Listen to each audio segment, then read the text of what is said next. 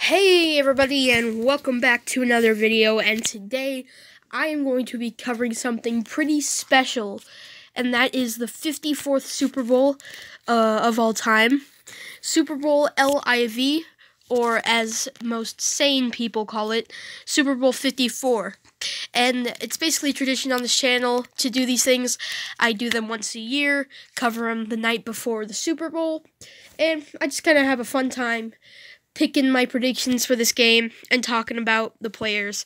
So it's that time of year where uh, everyone can just relax, sit down on a couch, bring out the snacks, whether it's the chips and dip, whether it's the Doritos, whether it's the pretzels and hummus, whether it's the buffalo wing. I do not care we can all agree on one thing, and that's that we are ready to experience some awesome football. Uh, that wasn't really the case last year. 13 and 3, yeah, what a what a good game that was. Anyway, we're not here to talk about last year's catastrophe of a Super Bowl. We're here to talk about this year's hopefully not catastrophe of a Super Bowl. And that is between the San Francisco 49ers, representing the NFC, and the Kansas City Chiefs, representing the AFC. So, two teams that we have not seen in the Super Bowl for a while, especially the Chiefs. They haven't done it in 50 years, I believe. So that's that's epic. They they finally made it to the big game after years and years of just total misery. But yeah, that's just basically the overview. Now let's get a little bit more in depth. So let's start out with the AFC with the Kansas City Chiefs. Now, this is a team that has faced misery after misery after just complete playoff ineptitude. And we thought that this would, would just repeat itself because, you know, it did it, they did it last year and they still have Andy Reid, they still have all the players. And nothing has really changed. But this year, they found their mojo, especially with with the Patriots. Oh, sorry, that keeps on rotating. Especially with the Patriots being out of the wild card and the Ravens losing in the divisional round. Like they had all they had to do was beat the Titans, which they only had one player on their team. Derrick Henry, but they are good. And this offense, especially, is looking stout. Patrick Mahomes, who I'm going to get to in a second, Tyreek Hill, just an epic dude who's been catching who's been catching bombs left and right. Uh, Damien Williams, who isn't the most well known of running backs, but is still a very solid uh, running back. And Travis Kelce, who I'll also get into in a minute. But long story short, this Chiefs offense is epic. But now let's look at the man himself, Kermit the Frog, Patrick Mahomes, the MVP of last year. Uh, this guy is just a beast. Like, ever since he's been a starter, he's been lighting up the NFL. He's, like, completely defined what it is to be a modern quarterback. And a lot of people are going to say Lamar Jackson did it, but he's basically a clone of Michael Vick. This guy is the modern quarterback. He is epic. He's like one of the best I've seen ever. And I really think that if he wins a Super Bowl, I think it'll be fitting because this guy is just epic. And he also has an awesome personality and an awesome voice on Gridiron Heights. But that being said, let's move on to his tight end. And here we have the Chiefs version of Gronk, Travis Kelce, number 87. Now, um, this guy is just epic. He's not as good as George Kittle, whom I will get to in a bit, but he has still been one of the best tight ends in the 2010s, of the 2010s, excuse me. And he's just been an asset for Patrick Mahomes, and I do not think that this will change in the Super Bowl. I think that he's going to catch at least two touchdowns because he he's just electrifying, and the dynamic he has with Patrick Mahomes is great. So I think I basically covered the Chiefs offense. I'm going to keep it brief this time because don't want it to get corrupted. So, I'm going to move on to the NFC. The San Francisco 49ers, who have had one of the best comeback years I've ever seen in football. Last year they were 3 and 13, I believe, or 4 and 12. But this year they have just been stellar. Like it may have been due to the fact that all their good players were injured. I mean Gronk or not Gronk, Kittle, basically the same thing. Kittle was not injured last year, but they they have Jimmy G now, they have Bo- Nick Bosa now. Richard Sherman's been playing better, which I'll get to in a minute. But yeah, San Francisco 49ers a bounce back team, all right, a bounce back team to be sure. But let's take a look at their offense. And man, it is stout. Jimmy G, Kittle, uh, and some lesser known receivers, uh, Marquise Goodwin, uh, Bourne, Kendrick Bourne, Deebo Samuel, I think. Yeah, Deebo Samuel. They're not well known, but I think that's to their benefit because, like, they can shock people. They can shock. They've done it many, many times. They've they've come in clutch when they've needed to.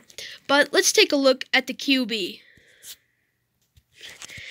And here we have Jimmy Jesus, Jimmy Garoppolo, the quarterback for the San Francisco 49ers. And this guy has has been a pretty good record.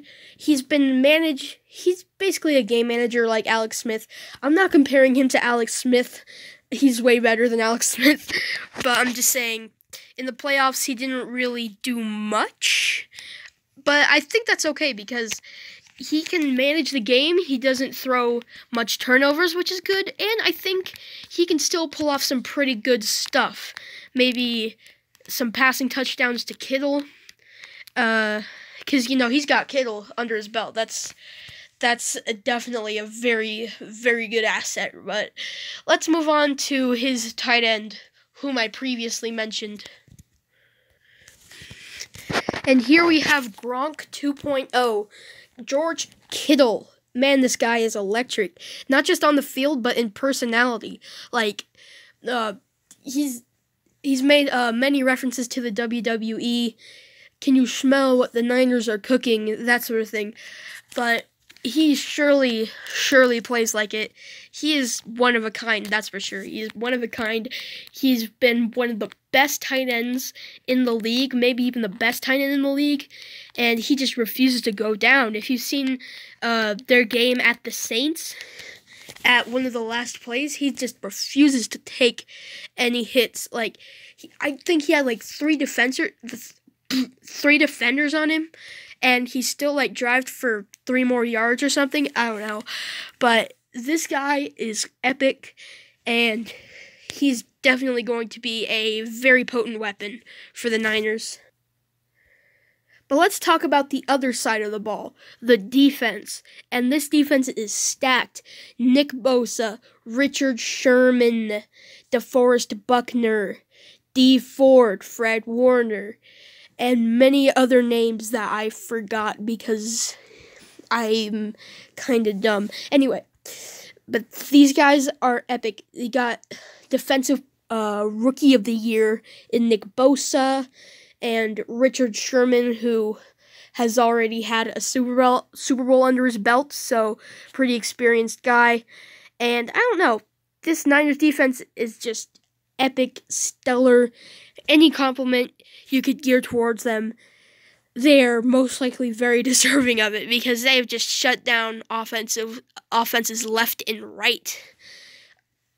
I think there's I think they've only give up given up 300 yards twice in the season against the Ravens and Saints or the Ravens and Seahawks. I do not remember. Anyway, this defense is awesome and it'll be interesting to see how they fare against the Chiefs offense. But let's move on to the coaches, the people who don't get as much fame but are still as much deserving as the players. Let's start off with Andy Reid, the coach for the Chiefs. Uh, also nicknamed the Walrus, and he surely does look like one, but we're not here to make fun of the guy because it's already been played to death, and I don't think he deserves it. I think he's quite an underrated coach. A lot of people say that he only focuses on one side of the ball, which I can kind of see it.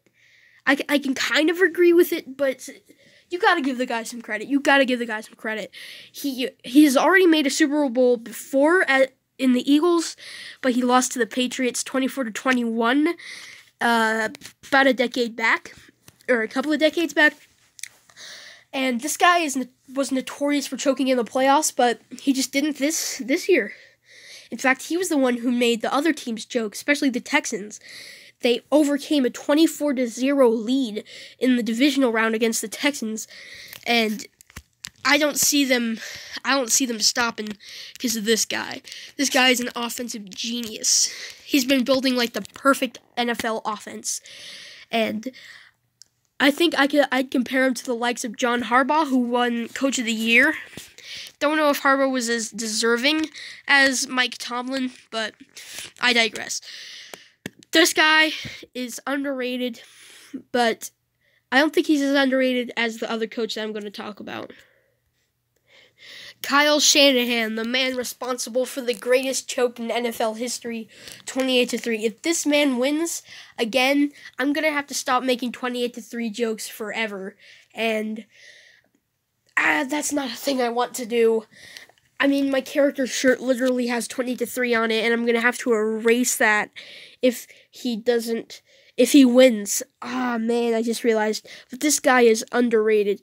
A lot of people are still liking, likening him to the 28 to 3 choke. And I think he's moved on from that. He's said again and again uh, how he's going to move on from the 28 to 3 choke. And I respect that, you know.